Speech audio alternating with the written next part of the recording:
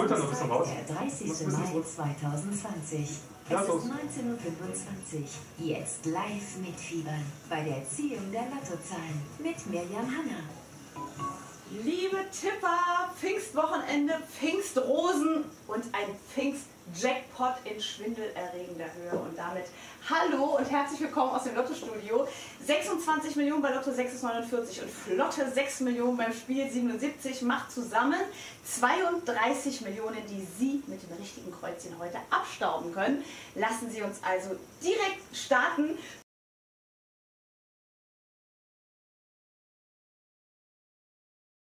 ist die 25.